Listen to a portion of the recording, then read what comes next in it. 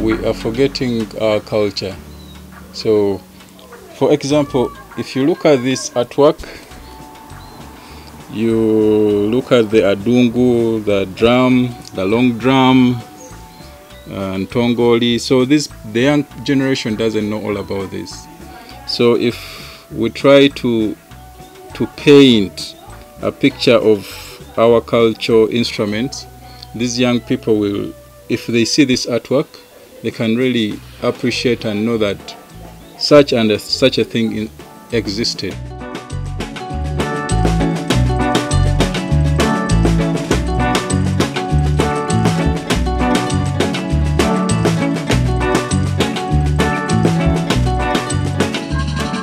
The beads are quite expensive.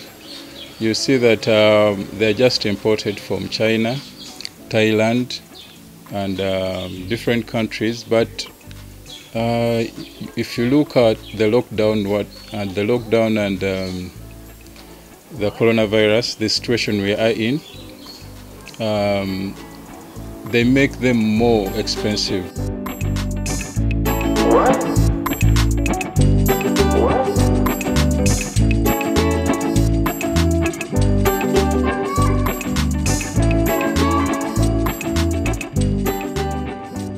Ah, Of course, the beauty is uh, different.